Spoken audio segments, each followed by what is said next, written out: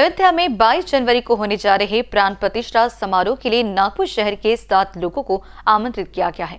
अयोध्या के प्राण प्रतिष्ठा समारोह के लिए शहर के सात लोगों को विशेष अतिथि के रूप में आमंत्रित किया गया है। इन सात में से एक है शहर के प्रसिद्ध उद्योगपति और कॉन्फिडेंस पेट्रोलिंग के संचालक नितिन खारा जी इन्हें भी 22 जनवरी को अयोध्या में होने वाले प्राण प्रतिष्ठा समारोह के लिए आमंत्रित किया गया है। जब हमारी टीम ने नितिन खारा से इस विषय पर बात की तो उन्होंने कहा कि ये भावनिक क्षण है।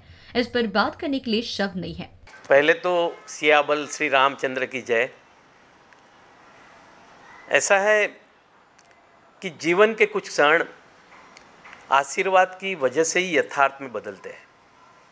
आज हम सभी भारतीयों के लिए दुनिया भर में फैले प्रभु श्री राम भक्तों के लिए ऐसा ही एक पवित्र अवसर आया है।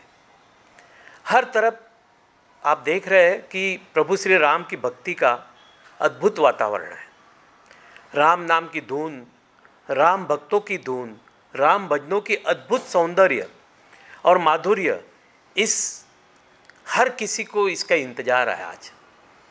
22 जनवरी 2024 का ये ऐतिहासिक पल का अयोध्या में श्री राम लला की प्राण प्रतिष्ठा में अब केवल सिर्फ़ तीन दिन बचे हुए हैं।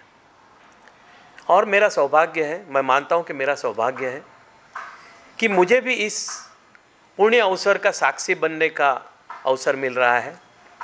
और यह मेरे लिए एक कल्पना की एक अतीत अनुभूतियों के जैसा लग रहा है। तो सहज रूप में आज मुझे मेरे पिता की भी याद आ रही है। मेरे पिता के जीवन के अंत तक उन्होंने प्रभु श्री राम का ही नाम जपा।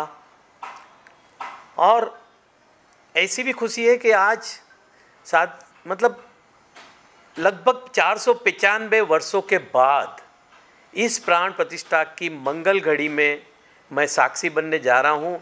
बहुत बहुत बहुत खुशी है मुझे। कैमरा पर्सन अजित कुंवर के साथ अभिषेक पांसी की रिपोर्ट